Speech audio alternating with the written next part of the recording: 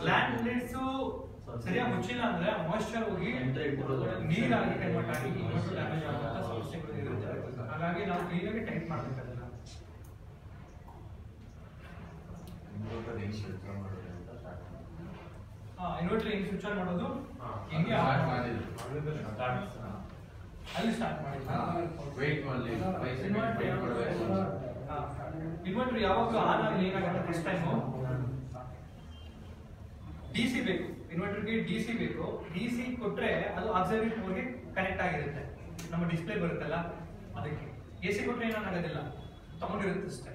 ಆದರೆ D C ಕೊಟ್ರೆ ಒಳಗಡೆ ಚೆಕ್ ಮಾಡ್ತಾ ಹೋಗುತ್ತೆ. ಇಂಟರ್ನಲ್ ಹೆಲ್ತ್ ಏನಿದೆ ಅಂತ.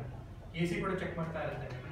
ಇನ್ವರ್ಟರ್ ಫಸ್ಟ್ ಆನ್ ಮಾಡಿದಾಗ ನಾವು ಮೊಬೈಲ್ ಆನ್ ಮಾಡಿದ್ರೆ ಏನು ಬರುತ್ತೆ ಫಸ್ಟ್ ಫೋಟೋ ಐಫೋನ್ ಏನು ಬೇಕಾದ್ರೂ ಕೊಡ್ಬೋದು. ಅದೇ ತರ ಇನ್ವರ್ಟರ್ ಆನ್ ಮಾಡಿದ್ರೆ ಫಸ್ಟ್ ಕೆಲವೊಂದು ಟೆನ್ ಸೆಕೆಂಡ್ಸು ಅದು ಯಾವ ಮಾಡೆಲ್ ಅಂತ ತೋರಿಸುತ್ತೆ.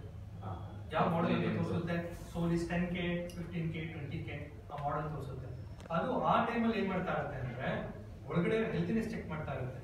ಸೊ ಸುಮ್ಮನೆ ಮಾಡೆಲ್ ತೋರಿಸೋದಕ್ಕಾಗಲ್ಲ ಒಳಗಡೆ ಹೆಲ್ತಿನೆಸ್ ಒಳಗಡೆ ಕಾಂಪೊನೆಂಟ್ ಏನೇನಿದೆ ಅಂತ ಚೆಕ್ ಮಾಡೋದಕ್ಕೆ ಚೆಕ್ ಮಾಡ್ತಾ ಇರುತ್ತೆ. ಸೆಕೆಂಡ್ ಏನಾಗುತ್ತೆ? ಇನ್ವರ್ಟರ್ ಒಂದ್ಸರಿ ಆನ್ ಆದ್ಮೇಲೆ ಯಾವ ಪ್ಯಾರಾಮೀಟರ್ ಚೆಕ್ ಮಾಡುತ್ತೆ? A C side R Y B grid voltage available ಇದೆಯಾ ಸರಿ ಫ್ರೀಕ್ವೆನ್ಸಿ ಸರಿ ಇದೆಯಾ? ಓಕೆ ಹೀಗೆ, ಅದಕ್ಕೊಂದು ಚೆಕ್ ಲಿಸ್ಟ್ ಇರುತ್ತೆ. ಆ ಚೆಕ್ ಲಿಸ್ಟ್ನ ಫುಲ್ಫಿಲ್ ಆದಮೇಲೆ D C voltage D C voltage ಏನು ಏನ್ ಬೇಕು ನನಗೆ ವೇಕಪ್ ವೋಲ್ಟೇಜ್ ಬೇಕು. ವೇಕಪ್ ವೋಲ್ಟೇಜ್ ಯಾವಾಗ ರೀಚ್ ಆಗುತ್ತೆ? ಆಗ ಇನ್ವರ್ಟರ್ ಸ್ವಿಚ್ ಆನ್ ಆಗುತ್ತೆ.